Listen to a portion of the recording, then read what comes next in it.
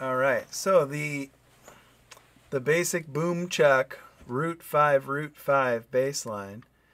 I'm doing C chord bass chord C chord G chord. So just back and forth.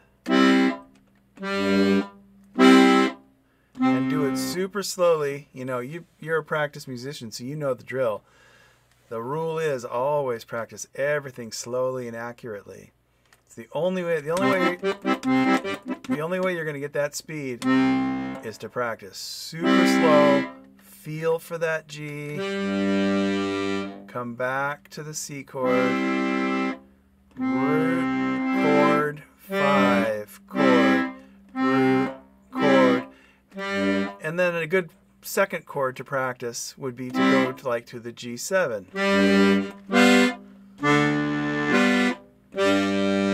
You know, so like if I did Marietta Level or something.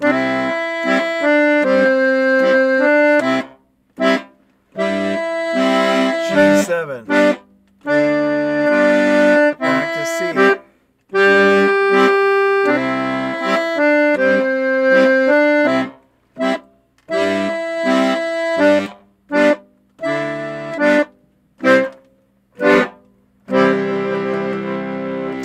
Also notice that I'm putting a little extra emphasis on the bass notes and letting the chords be shorter and less out front.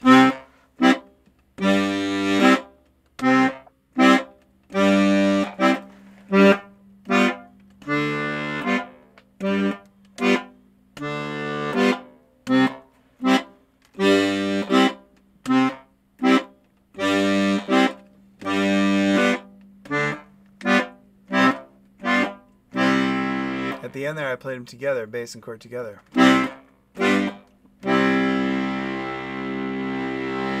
So here's another pattern. Um, like we talked about, you have the major third here. So you can incorporate root three five as a bass line, like a calypso. Calypso figure has that one, two, three, one, two, three, one, two, one, two, three, one, two, three, one, two, boop a doop bop, boop bop, boop. And I can fill in the in between eighth notes with the chord. One, two, three, one, two, three, one, two, one. And then the G7.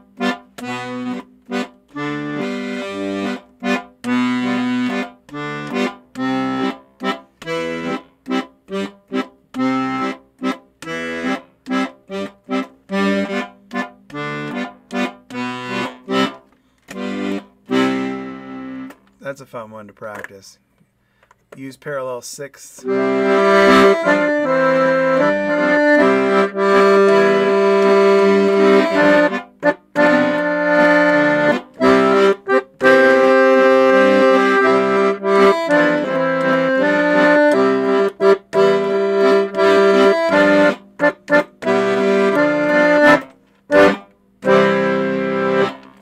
That's a fun one. Another fun prac- pattern to work on is um, my teacher refers to it as rumba. It's kind of it's more like a Cuban bolero kind of figure.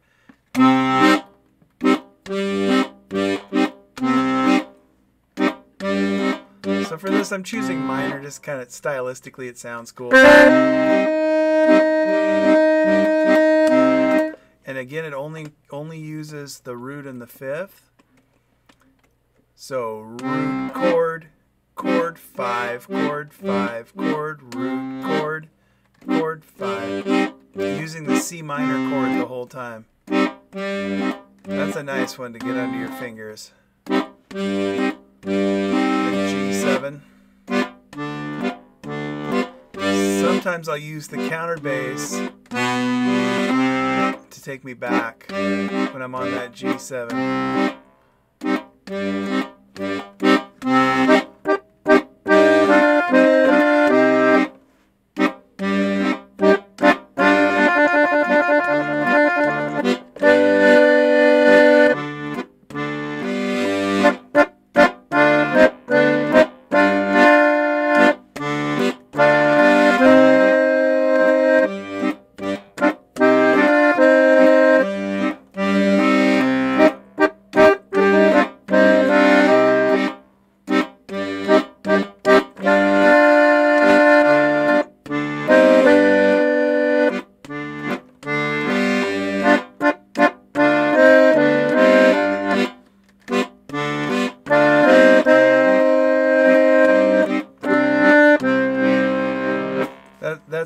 fun. I can I can use that pattern over most Latin grooves, even if the tempo goes up. The tempo kicks up. Another groove I like to use over um, under Latin stuff is again that one two three one two three one two one two three one two three one two. It's the three side of the clave. If you're familiar with clave concepts, but I do bass chord chord bass chord chord. So like I I like to play uh, Caravan. Oh, I'm in the wrong spot.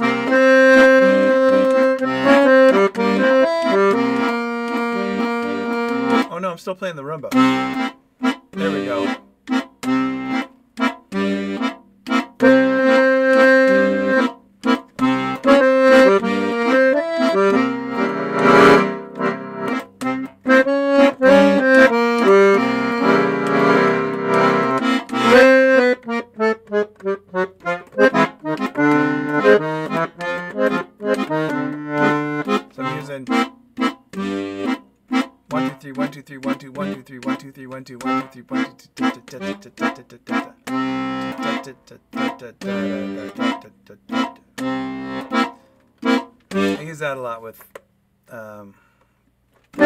Latin grooves.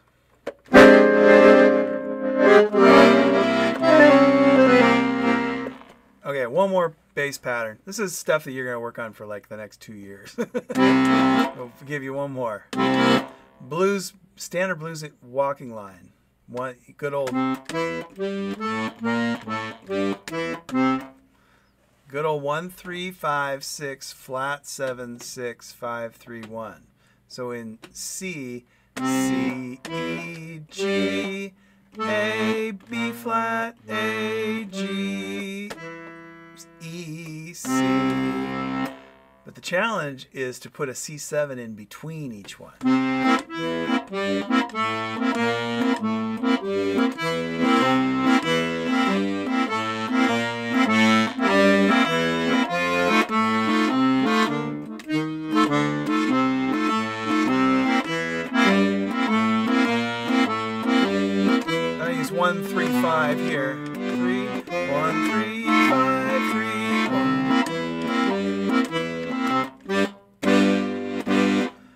Fingering on that is three, three, three, four, four, four, three, three. Middle, middle, middle, ring, ring, ring, middle, middle. Same thing on the F chord.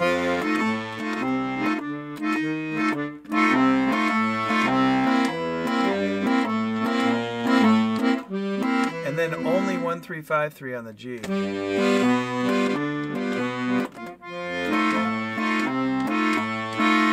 There's actually a little walk up I'd like to do here.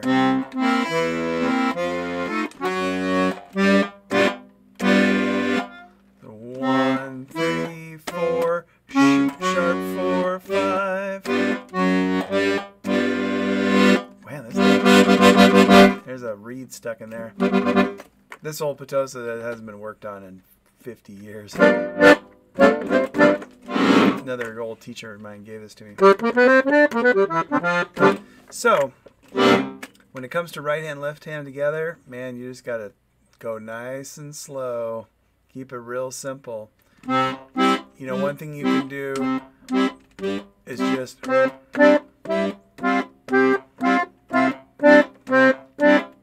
just a basic scale pattern. Get your hands moving together. Change rhythm, maybe half note.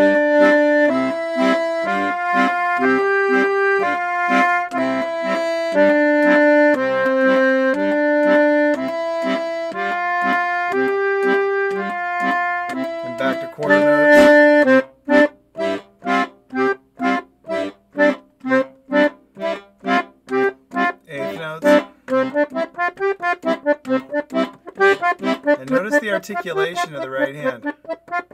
Short, a lot of wrist, a lot of bounce. short, crisp articulations.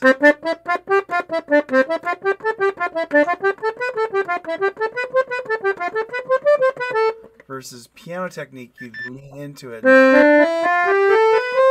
try to play more legato,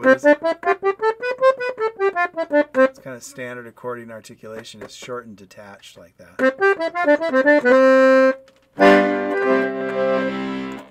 And even when you're working on the, like, here's C minor,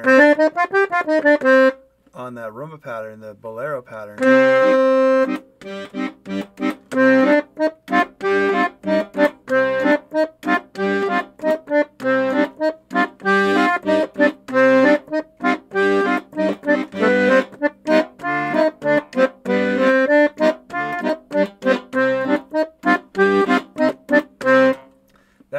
Practice of a simple scale passage in the right hand while you're working out patterns with the left hand it really helps in the long run. And then eventually you can, you know, you you just one day you, you're free and you can.